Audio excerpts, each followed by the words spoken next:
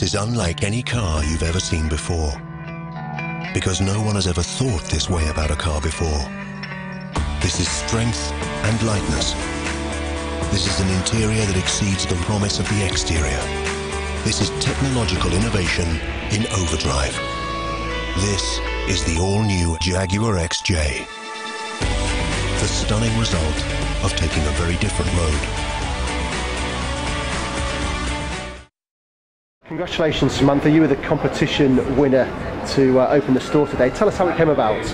Um, well, I entered the competition through the Tigerzine uh, email that I received and um, got the call on Monday afternoon to say that I'd won. And what was your reaction? Oh, I was very excited, jumping up and down, extremely excited. And what was the reaction of your family as well? oh, they were really pleased for me. Yeah. They know what big Tiger supporter that I am, so they yeah, could have been pleased. So tell us a bit about yourself. How long have you been a Tigers fan? Uh, since I was 14, so about 20 years now. Yeah. So um, what was your first game, can you remember? Um, it was Tigers v Bath. Um, back in the day when Neil Back was playing, who was my favourite player at that time. Your favourite player now? Uh, Jordan Murphy. Okay. So you met Jordan Crane and Craig Newby. How's that been today? Yeah, that's been great. It's uh, it's a real pleasure to meet the players. Um, you watch them all the time, and, and to meet them in person is just Excellent.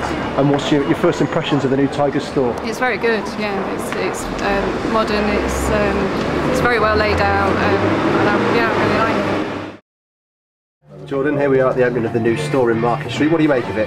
Yeah, no, it's really nice, really, really well done out, like the one at uh, Welford Road. So uh, I think it'll be successful. There's been a good turnout as well. A lot of fans here this morning. Yeah, there's a few, few, few signatures, few photos, so it's uh, not too bad. And is there anything that you've got your eye on? Uh, the Leicester Tigers dartboard actually, uh, it's uh, that would look nice in the training ground or, or at my house, so it would go all right. You fancy yourself as a bit of a dart player? Not really, I've got the belly for it, but uh, that's about it.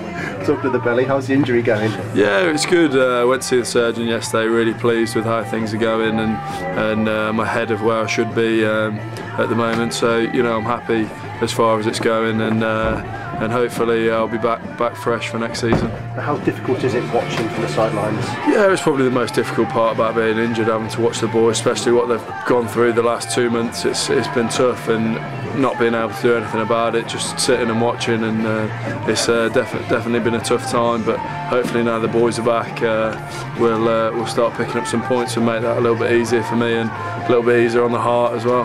Does that sort of change the mood around the training ground, having those uh, internationals back from the World Cup? Yeah, I think obviously brings a, a massive increase in confidence seeing those guys ar- around you, um, and I think it, it will make the guys who have played as well play that little bit better, uh, play, playing with quality players. So um, I think it can only be good for us, and I think uh, the guys will hopefully be raring to go and put in a good performance uh, tomorrow night.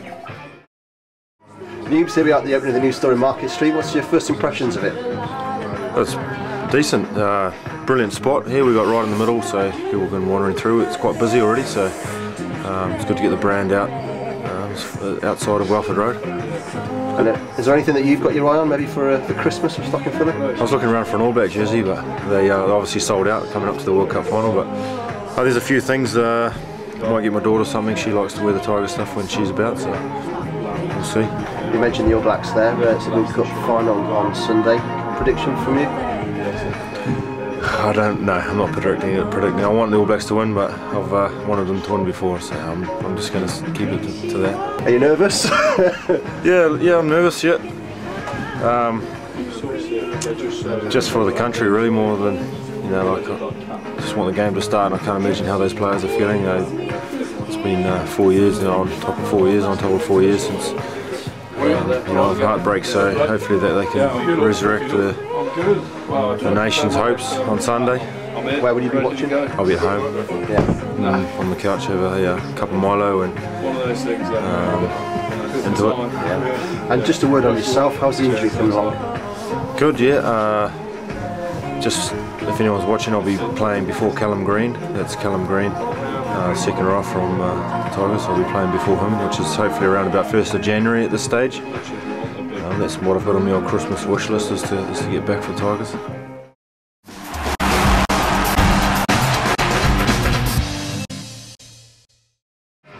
Why do uh, why don't cats play uh, cars in the jungle? I don't know. Why don't cats play cars in the jungle? There's too many cheaters. Why do squirrels swim on their back? I don't know. Why do squirrels swim on their back? To keep their nuts dry.